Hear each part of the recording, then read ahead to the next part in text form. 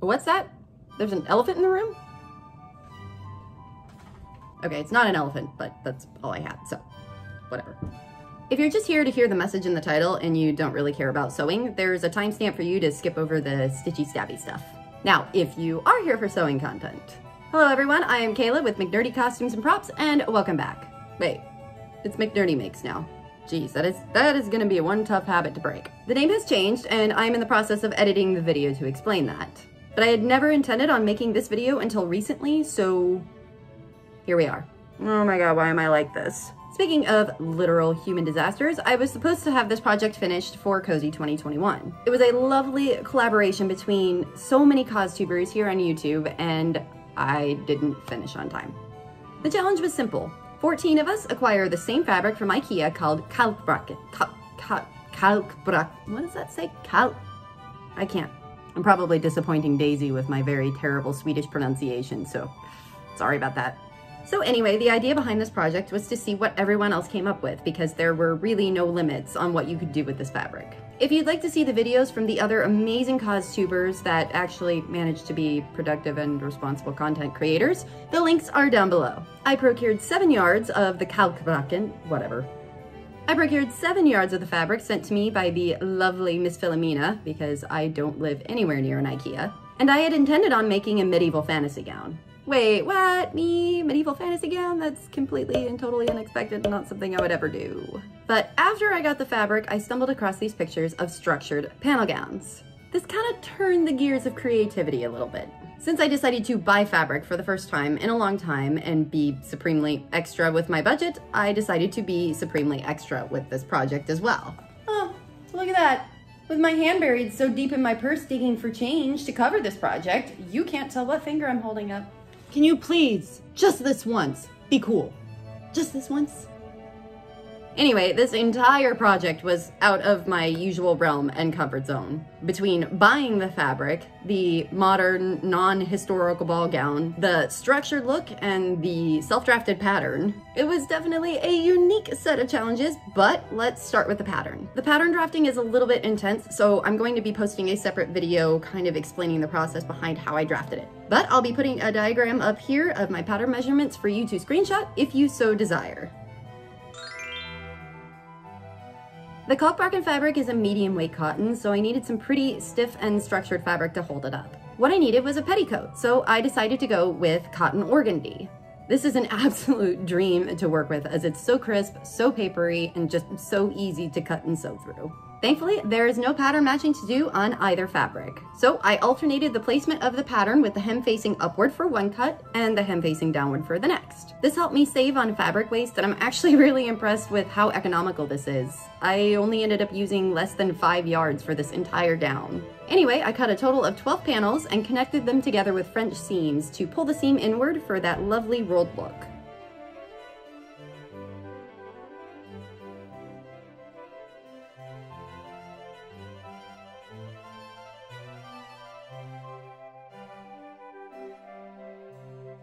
It's standing up on its own. No starch needed. I love it. Okay, so we've got all the panels put together, except for this back one. I seamed it together, but I left the edges raw to be able to French it after I basted in the zipper. I have like a bag of old zippers I've ripped out of things, so reuse. Things were going well. The structure was beautiful and I was really, really happy with the shape. Then it came time for the boning. I'm not typically a machine sewist since I prefer to work by hand, but since this entire project was about me leaving my comfort zone in absolutely every way possible, I decided to go with the flexible sew-in boning. And as anyone who has ever worked with it before will probably expect, things started to go wrong.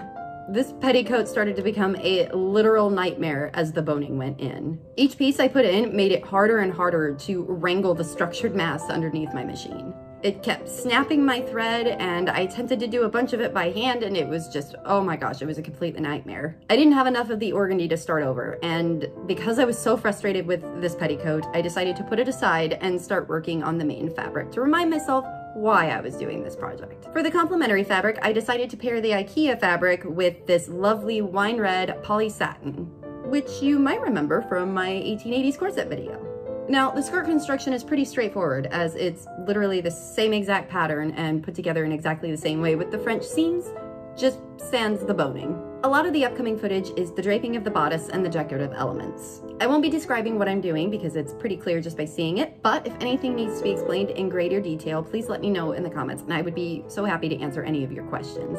The skirt came together with absolutely no trouble at all. So the time came for me to unwillingly pick up the petticoat again and attempt to get it to hold the shape that it was designed for. The thin, flexible boning was just collapsing under the weight of the skirt. And while it was kind of somewhat holding the shape, it just wasn't that perfect structure that I was looking for. I was frustrated and angry, and I even tried to add some wire in the hem to get it to hold out in the shape a little bit more, but it still wasn't enough.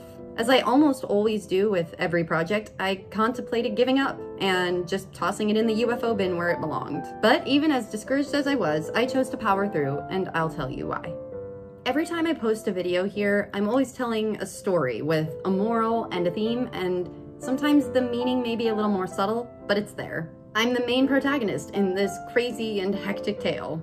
But the thing is, there's a villain in this story too. There's an antagonist intent on keeping the hero from achieving their true purpose. One who's constantly the nemesis, preventing me from completing the quest and claiming the prize.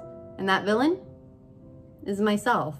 I decided to give myself a break for this project because I typically work with recycled materials. These are things I've pulled out of a dumpster or rescued from the side of the road. I love finding a use for things that would have otherwise ended up in a dump. I get to give them a beautiful chance at a second life. Josh calls it hoarding, but whatever. Potato, potato. Though I love what I do and the passion that it gives me, I felt like for this project, I deserved the chance, for once, to work with brand new materials purchased specifically for this project. I wanted to struggle less and feel more like I've grown in my skills over the past couple of years. Sometimes working with materials that aren't ideal for the project brings its own set of struggles. But even with the right fabrics, the structured plan, and the carefully drafted pattern, I still struggled. A lot. The moment that petticoat started to give me trouble and wasn't laying like it was supposed to, I got frustrated. I only filmed from the pretty sides and began to find fewer and fewer good angles as the project went along. Eventually, I stopped filming altogether as I tried to salvage what I'd put so much work into.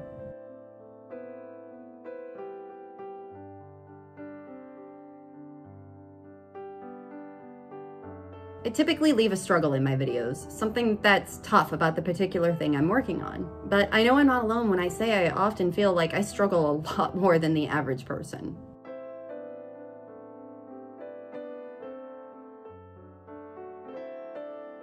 There are so many mistakes I don't show in the final video for a lot of reasons. Honestly, I'm often afraid of what people will think when I do the wrong things. But I'm being unfair to myself in these moments because I'm building up these ideas in my head based on the YouTube videos and the beautiful Instagram pictures that I see.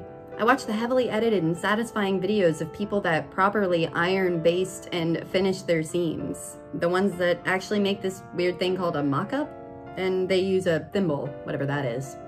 There's absolutely nothing wrong with that kind of content. I find myself inspired by it all the time. But I do find that no matter how much those creators tell their viewers not to hold themselves to the same set of standards, I still find myself unhappy with my work.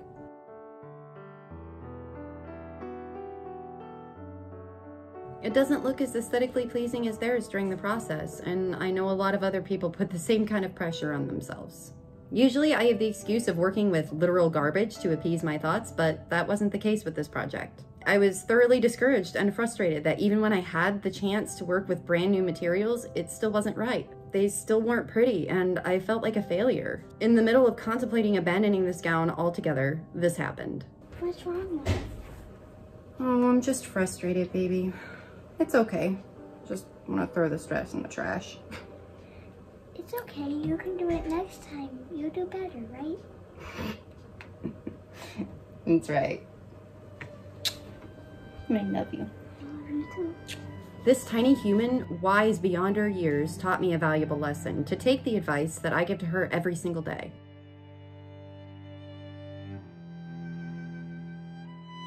I realized that even if I had never picked up this project again, I unlocked a new potential and leveled up. I grew as a person, even if the only thing I took away from this project was a mistake that I wouldn't make again. Maybe.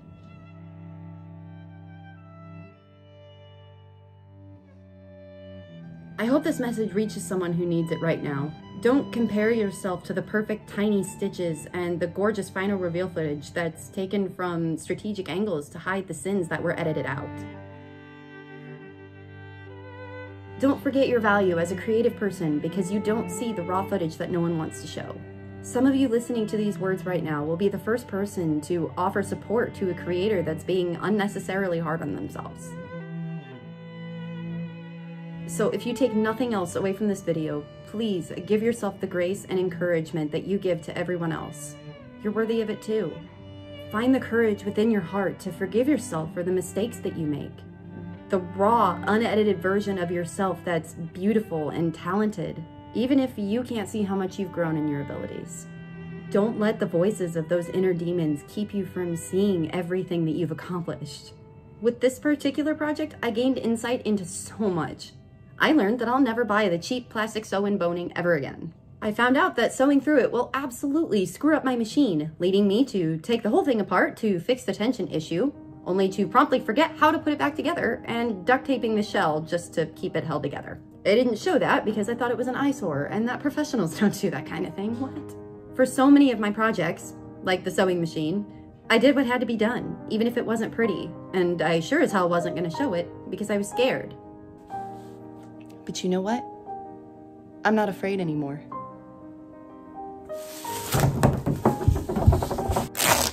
Push your hand where mine is. Nope, on top. This stupid petticoat has given me nothing but trouble since three hours into the damn project. It won't stand out properly, even with the ugly wire in the hem holding it in place. I didn't use enough of this crappy boning that I'll certainly never use again, and the whole thing is so big I can't fit it under my really pissed off machine anymore. But it turns out duct tape fixes a lot more than just my sewing machine. This sticky silver savior isn't pretty. A confident professional costumer would probably start over with the right boning, but I am no such person. I am so over this stupid limp petticoat that's supposed to be delightfully structured, but is instead looking at me like it's had too much whiskey. It has fought me at every turn, and I am done doing the proper thing. I could have just edited this part of the video out. I could have just put the outer skirt over it and never showed it again, and no one watching would have ever known but I want you to know what I really did. Sometimes you've got to do what needs to be done, and sometimes it isn't pretty at all. This is a time to forgive yourself. Screw up and screw up again. Leave those seams raw, but damn the consequences that will inevitably come back to bite you in the ass. The important thing is, is that you did it, whether you finished the project or not, because either way, you still gain the XP. If you know someone that needs to hear this message right now, please share it with them so they know it's okay to be a literal disaster. Because I am, and I don't mind. From this experience, I also learned that duct tape is perfectly acceptable as hem structure for a skirt rather than horsehair braid. It's less expensive and there is absolutely no sewing required. I wouldn't have finished this project without the option of the gloriously useful Mandate brand stuck on me.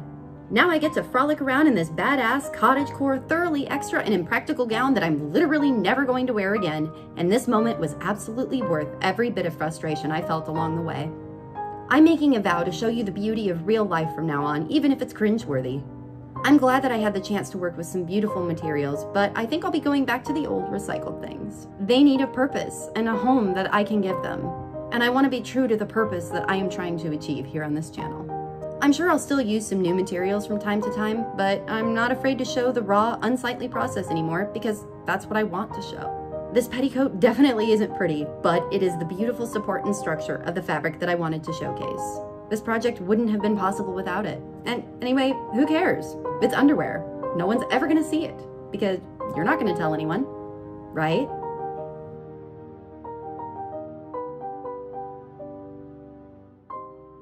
Coming up next on McNerdy Makes. We don't have time for yet another new project. Did someone say new project? Oh, Oh, man, who invited you? Moving is always stressful, but for me, this move is just beyond anything that I ever expected. Tearing down pretty much everything I've built in the last year and a half. I brought my daughter home when she was born to this house, and I haven't started on the sewing room yet. I think that's gonna be the hardest one of all, so I'm saving it for last.